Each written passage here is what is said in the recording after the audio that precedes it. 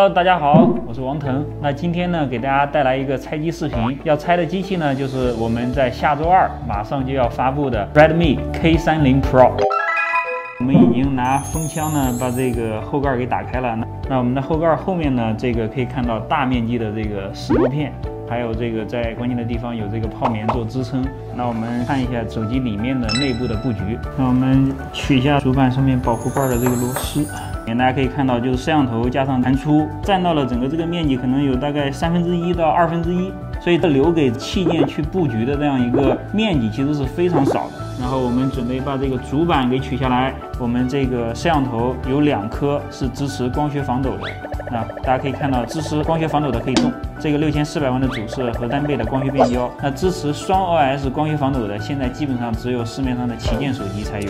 拿四百度的热风枪，专门把后面的屏蔽罩和这个三层的主板都打开给大家看一下。它是一个三层的架构，中间呢这是一块调节的板，在最上面呢主要是一些 RF 的器件。这颗呢是我们的主芯片，主芯片上面呢 top 封装的是 LPDDR5 的内存，它的边上呢是这个 UFS 3.1的这样一个这个闪存芯片，在这个上面呢，大家可以看到，哎，还有一颗稍微大一点的，这是 X55 的这样一个 model。我们上方呢，现在主要剩的就是我们整个弹出相机模组这一块，这个地方是我们的步进马达，然后呢，这边呢，我们是专门做了一个这个啊保护的弹簧。在这个下方呢，就是弹出的摄像头。好，大家看，我们刚才把这个小板部分的这个盖板拆下来，这是一个幺二幺六的这个超线性的 speaker，所以呢，它整个的这个声音啊响度非常的高。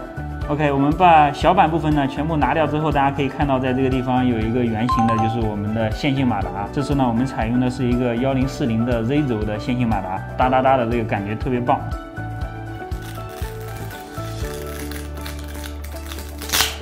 好，拿下电池之后呢，基本上后盖我们已经全部这个拆完了。那现在呢，我们已经把屏幕打开了。那在 K30 Pro 上面呢，我们这个指纹识别采用的是最新一代的超薄的指纹识别。可以看到呢，这是一大片的石墨片，哇，这好大一块啊！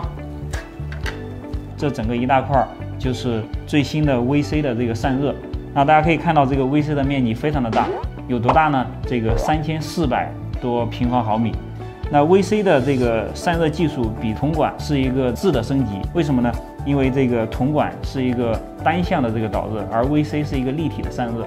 OK，大家啊，摆在我前面的呢就是我们拆完的这个 K30 Pro 的所有的零配件。通过我的这个快速的拆解啊，可以看到我们呃整个 K30 Pro 的用料还是非常的扎实，整个的设计设计呢也是非常的精致。欢迎大家到三月二十四号下周二这个我们的。发布会上看卢总呢具体的讲解。好，今天我们的拆解呢就到这儿，谢谢大家。